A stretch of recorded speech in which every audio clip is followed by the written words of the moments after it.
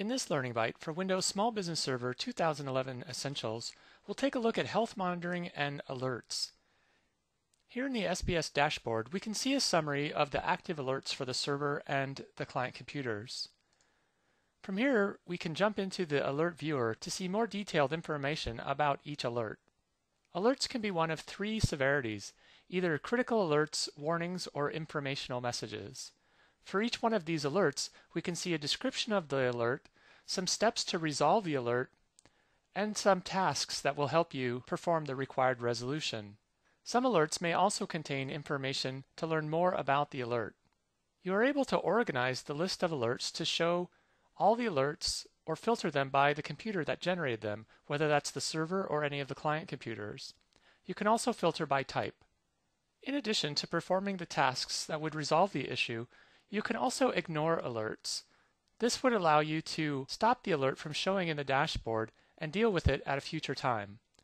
Alerts that are ignored are still listed in the alert viewer, but aren't included in the overall health assessment. Alerts that have been ignored are grayed out. You also have the option of deleting an alert or re-enabling it. When you delete an alert, it is removed from the alert viewer, but if it is detected again, a new alert will be generated. You can also set up email notifications for alerts. This is one of the tasks on the Getting Started page of the dashboard. Let's go ahead and set up Alert Email Notification. To do this, we'll just click on the Enable button and then fill out the settings.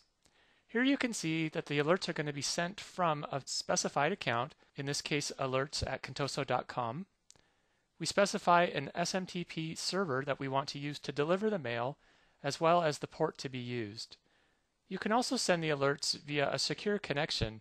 If you select this, be sure to update the SMTP port as required. Finally, you're able to provide authentication information for the SMTP server. Once the SMTP settings have been configured, you can go ahead and list the recipients who should receive email notifications of new alerts.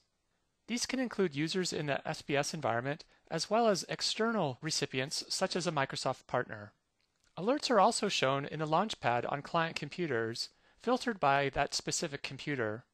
Thank you for watching this Learning Bite, and I hope you join us for future videos.